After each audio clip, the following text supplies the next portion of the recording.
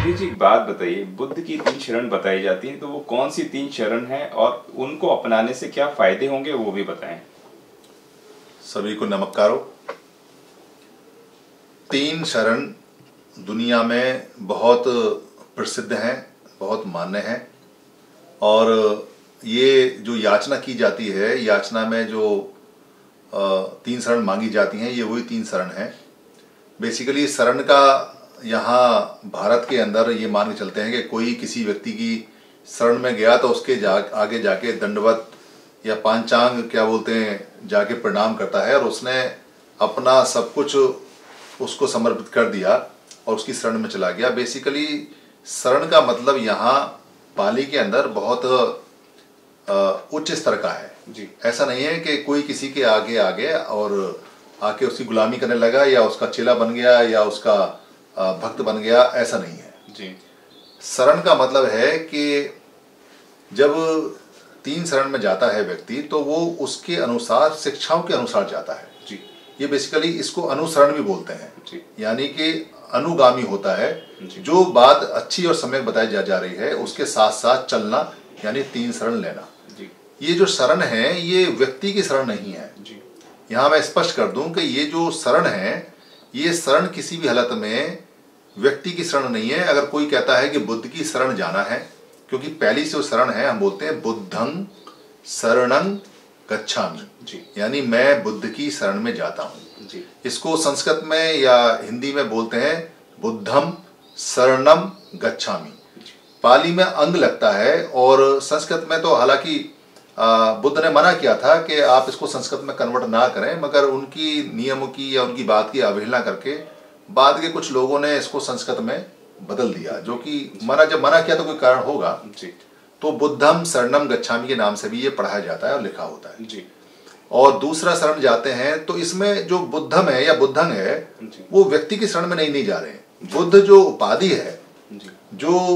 गुण है जो एक व्यक्ति ने गुण हासिल किए उन गुणों के साथ जाते हैं। यानी शरण का मतलब है उनके अनुसार जाएँगे। अब अपने जीवन को उनके अनुसार ढालेंगे और सीखेंगे। दूसरा जो शरण है वो है धम्मंग शरणंग गच्छामी। धम्मंग शरणंग गच्छामी। धम्मंग का जो मतलब है यहाँ बहुत कमाल का है। धम्मंग का मतलब होता है कि कोई भी चीज़ जो अपने प्रकृति के हिसाब से नेचर के हिसाब से काम करती है यानी जो उसका गुण है नेचुरल गुण है उसकी शरण में जाएँगे। यानी प्रकृति जैसे काम करती है उसी के अनुसार चलेंगे उसी को सीखेंगे। जी। उसको परिवर्तित नहीं करेंगे उसको असम्यक नहीं बनाएँगे खराब नहीं करेंगे उसको। जी। और तीसरी जो शरण है जो हम जाते हैं शिक्षा जो जाते हैं उसको बोलते हैं संघं शरणं गच्छामी। यानी जो संघ है अब संघ क्या है? संघ जो मिला हुआ है दो शब्द से मिलकर बना हुआ है संघ। संघ का मतलब है समान अंग। समान अंग का मतलब है कि समान तरह के लोग। और यहाँ इसको क्योंकि बुद्ध का जो संघ है समान तरह के जो लोग हैं समान अंग के जो लोग हैं वो सारे सम्यक हैं। तो इसको सम्यक नहीं बोला मगर सम्यक इसमें छुपा हुआ है। ये बेसिकली सम्यक संघ है। यानी कि पॉजिटिव एनर्जी वाले जो लोग हैं या पॉजिटिव एनर्जी वाले जो वहाँ जितने भिक्खु गण हैं उनके इकट्ठे होने के समूह को यहाँ संघ बोला गया है। तो मैं उन ऐसे टीचर्स की ऐसे भिक्खु और भिक्खुणों की ऐसे जानकारों की जो पॉजिटिव है अच्छा काम करते हैं उनके अनुसार जाता हूँ। उनसे सीखता हूँ। ये तीन शरण है। ये तीन शरण तीन शिक्षाएँ दुनिया में सर्वोपरि हैं क्योंकि ये नेचर पे बेस्ड हैं। नेचुरल हैं इसको इसलिए तीन शरण बोलते हैं तीन रत्न भी बोलते हैं और ये बड़ी मान्य है। जी। धन्यवाद। सुधीर जी ने हमें बताया कि तीन शरण गौतम बुद्ध की कौन कौन सी हैं और इन शरणों पे इन पंचशीलों की बातों पे जो भी व्यक्ति विशेष चल चला गया वो लौट के नहीं आता। उसको ज्ञान की प्राप्ति, सुख का अनुभव सब कुछ होता है। और आप लोग हमें इतना सारा वीडियोस को पसंद कर रहे हैं, और तो इसके लिए हमारा साधुवाद बोलना आप लोग सबके लिए बिल्कुल बनता है।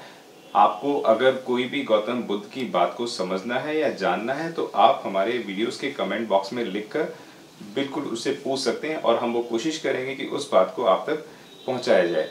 हमारे ऐसी वीडियोस को देखते रहने के लिए इस चैनल को लाइक करिए, शेयर करिए, सब्सक्राइब करिए और घंटी का बटन दबाना बिल्कुल भी ना भूलें ताकि कोई भी लेटेस्ट इन्फॉर्मेशन सबसे पहले आपके पास पहुँचे।